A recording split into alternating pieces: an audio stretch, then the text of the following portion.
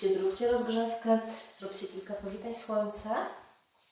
Później usiądźcie sobie na chwileczkę, złączcie kciuki z palcami wskazującymi. I spowolnijcie jeszcze bardziej wdech, wydech nosem.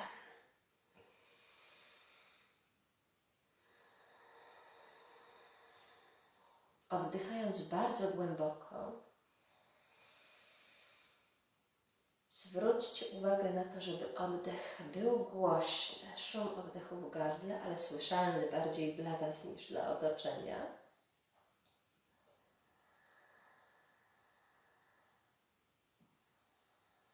Opuszczajcie barki z każdym wydechem w dół, wyciągajcie się czubkiem głowy z wdechem do sufitu.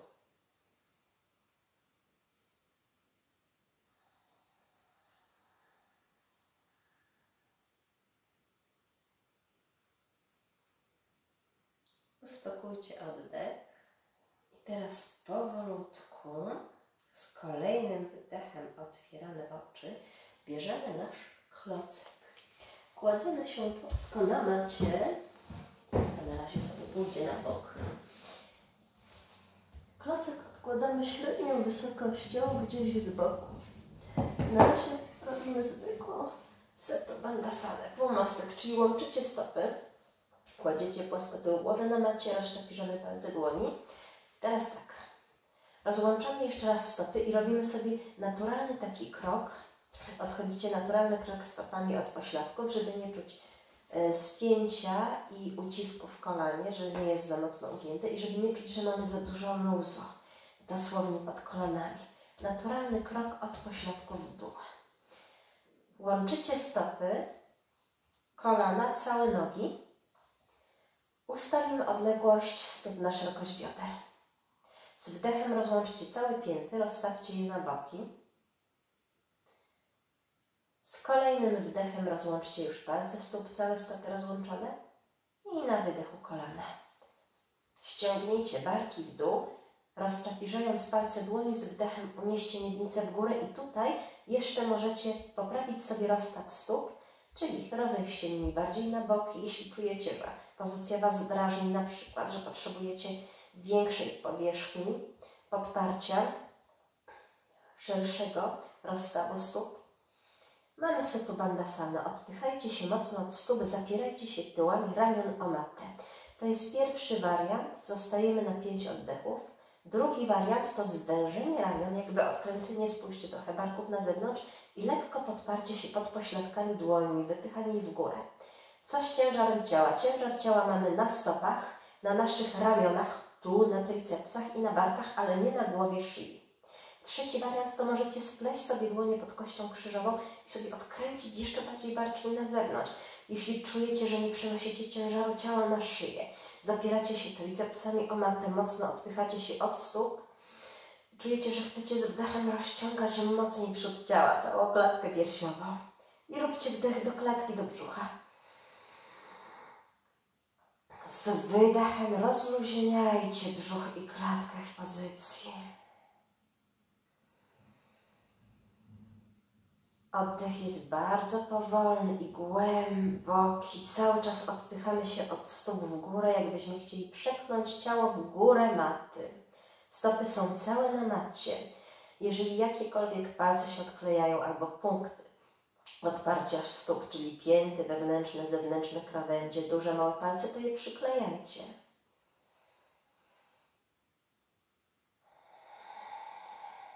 Możecie włączyć nieco głośniejszy oddech. I po pięciu oddechach z kolejnym wdechem rozłączasz dłonie, ustawiasz ramiona równolegle. Na wydechu schodzisz w dół na chwileczkę przyciągasz kolana do pach, okrągłe plecy. Możesz pokołysać się na boki. Możesz też wybrać pozycję szczęśliwego dziecka, czyli unieść sobie stopy w górę i chwycić się pod kolanami. Albo powędrować dłońmi do kostek lub do dużych palców stóp, jeżeli już wykonywałeś pełną pozycję szczęśliwego dziecka. Kolana dajesz na boki. Nie kierujesz ich do siebie, tylko na boki maksymalnie, żeby otworzyć biodra. Barki są luźne, głowa, barki leżą na macie. Jeśli odrywasz głowę, to chwyć po prostu niżej za nogi. I na wydechu stopy na matę. Tym razem użyjemy klocka do mocniejszego rozciągnięcia przodu ciała. Spójrzcie, klocek średnią wysokością podsuwamy węższym bokiem do siebie. Leżąc na macie, z wdechem unosicie sobie biodra i tutaj częstym błędem jest to, że na przykład robicie, popatrzcie, coś takiego, siadacie na matę, odkładacie klocek i wędrujecie sobie w ten sposób. Uwaga, to nie jest zbyt wygodne dla pleców, żeby wejść do setu mandasana z klockiem. Najpierw kładziecie się na płasko plecami na matę, rozstawiacie sobie stopy wygodnie, klocek jest w dłoni, z wdechem unosimy miednicę, podsuwamy sobie klocek, trzymając go oburącz pod kość krzyżową, która jest tuż nad kością ogonową.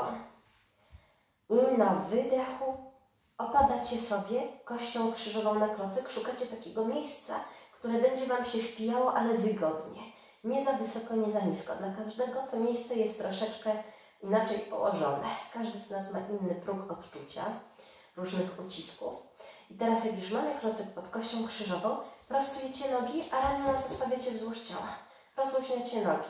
Czasami w tej pozycji może się pojawić napięcie w lędźwiach i wtedy popatrzcie, łączycie sobie stopy i dajecie kolana na zewnątrz. Możecie też pod kolana podłożyć klocki, jeżeli mocno ciągną Was wewnętrzne strony ud. Czyli wtedy byśmy potrzebowali trzech klocków albo jakieś poduchy. W tej pozycji też będziecie fajnie z wdechem rozciągali przód ciała. Na wydechu będziecie się odprężać. Ja przejdę do pozycji z prostymi nogami. Tutaj ramiona są wzdłuż ciała. Pierwsza pozycja. Drugi wariant to dłonie na dolnych żebrach. Odsuwamy barki od uszu i z wdechem koncentrujecie się na rozsuwaniu tych żeber na boki. Brzuch się unosi, klatka się unosi, ale żebra jakby idą na boki. Mocno czujecie rozciągnięcie mięśni międzyżebrowych, rozciągnięcie przodu ciała, o to chodzi. A na wydechu czujecie, jak żebra zsuwają Wam się pod każdą z dłoni do siebie. Czujecie, że plecy opadają i rozluźniamy pozycję. To jest drugi wariant. Trzeci wariant to przeniesienie z wdechem ramion za siebie. Mocne rozciągnięcie i tutaj barki podejdą Wam do uszu, więc Wy je musicie jakby ściągnąć w dół. Wtedy ramiona pójdą szerzej, opieramy potylicę na maty. Na macie zostajemy sobie w tej pozycji tak długo, jak potrzebujecie. To jest najłagodniejsze ze wszystkich naszych wygięć w tył i zawsze możecie ten klocek zredukować jeszcze wysokością, czyli położyć go na płasko. Oddychamy głęboko.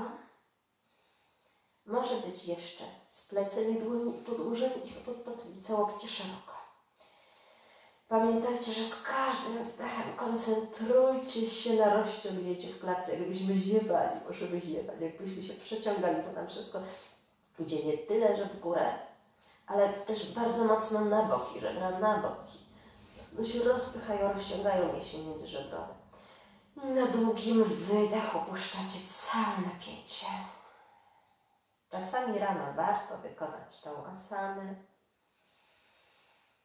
Dla niektórych z nas dzisiejsza sekwencja będzie idealna na poranne obudzenie i rozluźnienie napięć, a dla niektórych na przyjście po pracy i rozciągnięcie przed snem. Mamy już drugą pozycję z klockiem o średniej wysokości. Przejdziemy sobie do trzeciej, czyli głowa zostaje na macie, ramiona wzdłuż ciała, uginamy kolana, z wdechem unosimy miednicę i teraz popatrzcie, przestawimy klocek wyżej, czyli idziemy na największą wysokość klocka, ale tym najkrótszym bokiem podkładacie sobie klocek pod kość krzyżową, czyli on ląduje w tym miejscu, w którym był przed chwilą, jak klocek był średnią wysokością. Podkładacie sobie klocek pod kość krzyżową, tu już może być mniej przyjemnie. Dlatego jeżeli stwierdzicie, że czujecie napięcie w lędźwiach, spinają Wam się barki, klocek się brzyna albo wręcz się kołysze i nie jesteście w stanie utrzymać na nim równowagi, to popatrzcie, wróćcie sobie do klocka o średniej wysokości, ok? Ja teraz pokażę wariant z klockiem o największej wysokości. Jak już mamy go dobrze punktowo podłożonego na kości krzyżowej, Stopy rozkładacie sobie wygodnie i albo zsuwacie tricepsy do talii, ale dłońmi podtrzymujecie klocek od dołu. Oddalacie barki od uszu i wasz ciężar ciała jest na tricepsach, barkach i na stopach. Zostajecie z ugiętymi kolami, kolanami, jak już czujecie tutaj ciągnięcie w ciele. I też zostajecie, dopóki czujecie, że pozycja jest wygodna. Pamiętajcie, żeby odpychać się od tricepsów, tyłów ramion oraz od stóp. Nie przenoście ciężaru ciała na głowę i na szyję. To jest pierwszy wariant. Podtrzymujemy klocek dłoni. Drugi wariant to powolne prostowanie raz jednej nogi, z tym, że nie musicie prostować tak mocno kolana jak ja, możecie zostawić sobie lekko ugięte. Najważniejsze jest to, że tu Was ciągnie w przyjemny sposób. I prostujemy sobie drugą nogę, próbujemy wyczuć jej pozycję. Jak poczujecie, że macie ochotę wyprostować obydwie nogi, a nacisk klocka na kość krzyżową nie jest nieprzyjemny, nie ma napięcia w lędźwiach, to prostujemy obydwie. Albo puszczacie je luźno na boki. Ja bym sugerowała jednak zbliżanie wewnętrznych krawędzi stóp do mat. Uruchomicie więcej mięśni nóg, ale też bardziej skutecznie rozciągniecie przed ciała. I popatrzcie, jak nam odstają duże palce stóp, to duże palce stóp doklejajcie, zbliżajcie do maty. I tu, jeżeli czujecie się niepewnie, jeżeli czujecie, że klocek się kusze, to się podtrzymujcie cały czas dłońmi pod klockiem. Ale też mamy inne warianty. Czyli jak klocek jest super stabilny, czujecie się dobrze, to ramiona na matę, albo wręcz łapiemy dłonią za dłoń pod kością krzyżową i odkręcacie sobie barki na zewnątrz. Ciężar ciała macie na klocku, na kości krzyżowej i na stopach, które lgną do maty. Odpychamy się też od tricepsów. Mocne rozciąganie klatki, przygotowanie do mostków. Wdech do brzucha, do klatki. Czujecie, że klatka się unosi, ale też bardziej rozpycha na boki, rozciąga. I na wydechu rozluźniamy pozycję. Możecie zamknąć oczy. Zawsze możecie wrócić do ugięcia kolan. Głębokie wdechy i długie wydechy. Będzie mocno nas ciągnął przód ciała. Pamiętajcie, że ciężar ciała mamy na tricepsach, łokciach, tutaj na klocku, na kości krzyżowej i na stopach. One są aktywne. Lekko zrotowane uda do wewnątrz, wewnętrzne krawędzie stóp i duże palce doklejone do maty. Zostajecie, dopóki pozycja sprawia Wam przyjemne rozciąganie w przodzie ciała. Jak już poczujecie, że ciało chce zmienić pozycję, ma dosyć, już czujecie bardziej klocek niż z wdechem rozciągnięcie w klatce i w przodzie ciała, to sobie z pozycji wychodzimy, uginając kolana, chwytając od dołu za klocek, z wydechem unosząc pośladki wyżej, ale bardzo powoli odpychacie się od tricepsów i na wydech odstawiamy klocek, schodzimy na matę. I znowu zwijamy się w kulkę, przyciągamy sobie kolana do brzucha, ale możecie tutaj zrobić coś takiego. Możemy trochę wymasować plecy, kołysać się, albo położyć dłonie pod głowę, unieść ją, ale bez napinania szyi i przyciągnąć sobie luźno czoło do kolan, łokcie blisko, bo czujecie rozciągnięcie w całym tle ciała, a łokciami obejmujemy nogi, oddychamy głęboko. Podbródek do mostka, spokojny oddech.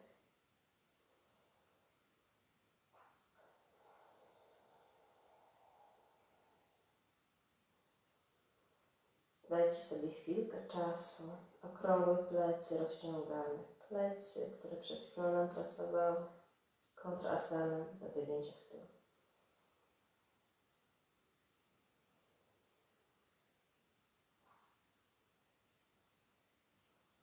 I z stopy na matę. Kolejna pozycja. Siad kompensacyjny, mała kontrasana do wygięcia w tył, albo siadacie sobie wyżej, patrzcie na klocku i łączycie stopy, ale nie łączycie, nie łączycie y, stóp bardzo blisko spojenia łamowego, bo to nie jest Konasana, tylko je oddalamy, tak jakbyśmy chcieli wyprostować nogi, wziąć kolana, złączyć stopy. I albo siedzimy wyżej na klocku, albo siedzimy sobie normalnie na macie. Teraz robimy taki diament. Tu wydłużamy nogi. Co robimy w tej pozycji? A więc z wydechem powoli zaczynamy od kości krzyżowej, przez lędźwia, odcinek piersiowy kręgosłupa, opadać w dół. Mamy okrągłe plecy, czubek głowy nam idzie do maty. Odkładamy sobie dłonie na kostki, na stopy i oddychamy. Oddalamy barki od uszu. Wyobraźcie sobie tutaj wydłużenie w kręgosłupie. Wyobraźcie sobie, że jakby to wydłużenie idzie nam od dołu, od kości krzyżowej, przechodzi przez literkę C i opada ciężką głową w dół. Czujemy rozciągnięcie w różnych odcinkach mięśni przykręgosłupowych. Rozluźniamy całe plecy, rozluźniamy barki. Zamykamy oczy i zostajemy sobie na moment. Długość pozostawania w pozycji zależy od Was. Najważniejsze jest, żebyście wczuli się w efekty, czyli w to przyjemne ciągnięcie i odpuszczanie napięcia. I to jest nasza kontrasana do wygięcia w tył. Bardzo fajnie rozciąga plecy, nie zmusza nas do ekstremalnego prostowania nóg jak w Paschimottanasanie, czyli skłonie do przodu. Nie wymusza napięć, tylko rozluźnia plecy, bardzo fajnie.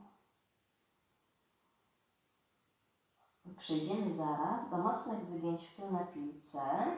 Także jeżeli czujecie, że jeszcze chcecie odpuścić piłkę, że jeszcze nie chcecie robić mostka, to sobie zostańcie w tych asanach na klocku, bo one fajnie nam rozciągają od ciała i rozluźniają. Co zrobimy z piłką? Tutaj tyle, ile zrobicie, zależy od Was i nie róbcie niczego na siłę, ok? Piłkę podkładamy sobie pod łopatki i idziemy do przodu maty. Rozstawiamy bardzo szeroko stopy. Piłkę oburącz, ona jest śliska, więc uwaga. Zabezpieczcie ją dobrze, ściśnijcie ją lekko łokciami i teraz popatrzcie, prostujemy sobie nogi, przetaczamy piłkę bardziej w kierunku nędźwi i tutaj, jeżeli czujecie się niepewnie, bo ona się kołysze, to na razie róbcie asany z klockiem albo zostańcie sobie, popatrzcie bardziej w górę i się przyzwyczajajcie. Po prostu schodźcie sobie w dół, wychodźcie w górę. Zwłaszcza osoby, które nie trenowały na piłce, pomijają tą część. Osoby, które wiedzą, co to feedback, czują się dobrze, odchylają się w tył, odchylamy się cały czas na dłonie na piłce. Jeżeli poczujecie napięcie w karku, wracacie. I teraz o co chodzi z naszą piłką? Przejdę sobie do Was bardziej do przodu, aby nam piłka nie zginęła. O, zrobimy to z tego ujęcia. Zobaczycie całą pozycję w kadrze. Jesteśmy na naszej piłce, spójrzcie, odchylamy się w tył. Jeżeli dobrze się na nie czujecie, to przenieście sobie dłonie na matę. Roztopiście palce dłoni i ogłóżcie je jak do mostka. Tam gdzieś z dołu na macie, łokcie w miarę równolegle, prostujemy sobie nogi, odchylamy głowę i zostajemy. I z wdechem znowu popatrzcie, będzie nam się mocno rozciągał przód ciała. Jak wyprostujecie nogi, poczujecie ciągnięcie w całej przedniej taśmie powięziowej. Dłonie mamy na macie, odpychamy się od maty, tak żebyśmy nie zrobili fikołka do przodu, czyli nie stoczyli się z piłki do przodu. Ale popatrzcie też na moje stopy. Ja ich nie puszczam na luz, bo stracę kontrolę nad pozycją. Znowu doklejamy wewnętrzny krawędzie stóp i wszystkie palce stóp do maty. Nasze duże palce stóp są dociśnięte do maty, widzicie? Nie pozwalamy stopom się oderwać, nie pozwalamy kolanom rozchodzić się na boki, uda są zrotowane do wewnątrz. I zostajemy sobie w pozycji bardzo głęboko oddychając. Jeżeli poczujecie, że ucisk macie na głowę, ciśnienie w głowie, ból w karku, to z niej wychodźcie. I na razie koncentrujcie się na klocku. Oddychajcie sobie głęboko, odpychajcie się dłońmi od maty. Teraz wchodzimy w asany mocno przygotowujące do mostka. Tu oczywiście możecie zostać, bo odpychając się od dłoni i doklejając stopy do maty, stabilizujemy pozycję. Pokażę teraz dwie bardzo zaawansowane asany, których nie róbcie, jeżeli nie ćwiczyliście na piłkach, nie jesteście zaawansowanymi ćwiczącymi już ponad 8 lat joginami bo tu mamy też trening funkcjonalny. Możecie oprzeć przedramiona na macie, czyli w tym celu przesuwam piłkę bardziej do kości krzyżowej i ogonowej i najpierw jedną dłonią sobie przechodzę do przodu, kładę jeden łokieć na macie, później jedna dłoń do przodu w kierunku głowy i kładę drugi łokieć na macie. I tutaj, jeżeli przedramiona nie zejdą mi na matę, to wychodzę z tej pozycji, zostaję na samych dłoniach na macie. Tu muszę mieć łokcie wąsko na szerokość barku, żeby mi się nie rozeszły. Zapieram się łokciami i całymi przedramionami o matę. Głowa może się znaleźć zarówno na macie, jak nad nią, w zależności od wysokości piłki. I patrzcie, rotuję uda do wewnątrz, doklejam wewnętrzne krawędzie stóp i duże palce. Oddycham głęboko. Przypomina to wygięcie w tym na kółku, kiedy odkładamy przedramiona na matę. Wszystko musi się dziać naturalnie. Nie, mo nie możecie czuć, że piłka się za bardzo kołysze, nie możecie czuć ucisku w głowie, nie możecie robić tego na siłę. Jeśli ich jeszcze nie odłożycie, to nie róbcie tej pozycji po prostu, bo jeszcze ciało nie jest gotowe. Wiem, że jest dużo nie, ale wszystko następuje e, etapami. Musimy dać sobie na to czas. I tu czujecie jeszcze mocniejsze z wydechem rozciągnięcie przodu ciała. Mało tego, jakbyśmy chcieli prostować kolana, to czujecie, że dociskacie jakby tył ud bardziej do piłki i rozciągnięcie idzie jeszcze mocniejsze. I zostajecie, dopóki jest Wam wygodnie. Teraz wyjdziemy sobie do mostka na piłce.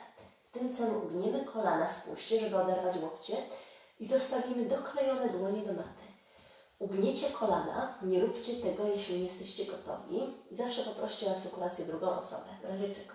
Doklejcie mocno dłonie do maty, rozstawiamy ramiona mniej więcej na szerokość barków. Mocno doklejamy całe wnętrze dłoni do maty.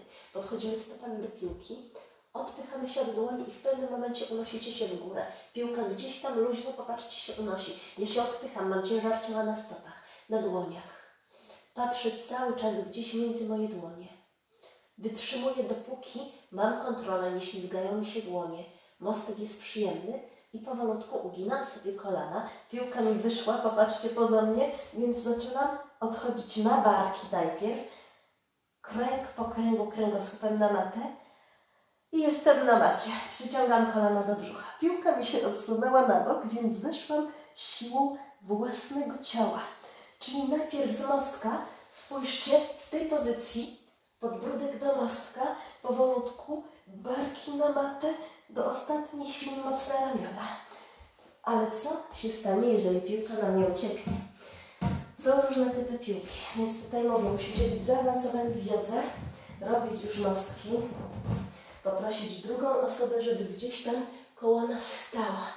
Jeśli piłka mi nie ucieknie, jestem w mostku, o, zobaczymy jak piłka zareaguje, spróbuję ją przytrzymać, spójrzcie, piłka jest gdzieś pod plecami, to ja najpierw jej szukam, widzicie, odkładam na nią kość krzyżową, odpycham się od dłoni, uginam kolana, przenoszę ciężar ciała do przodu, mocny brzuch, dłonie, powolutku pod potylicę, wciągam brzuch i schodzę sobie do tej pozycji, widzicie, która była na początku.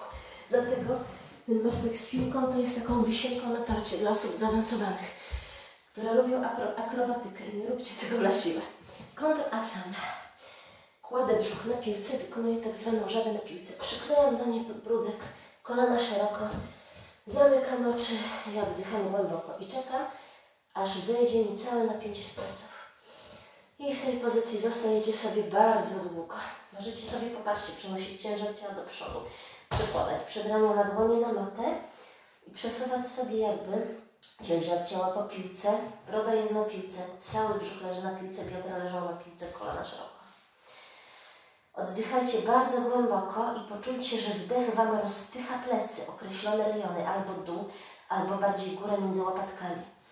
Będziecie mieć wrażenie, jakby powieść tak strzelała, odblokowywała się, jakby schodziło z Was duże napięcie. Pozwólcie sobie tu zostać, oddychajcie bardzo głęboko. Poczekajcie, aż nieco napięcia z pleców zejdzie, aż się mięśnie rozluźnia. Możecie się pokołysać, dłonie na macie, palce stóp zawsze na macie.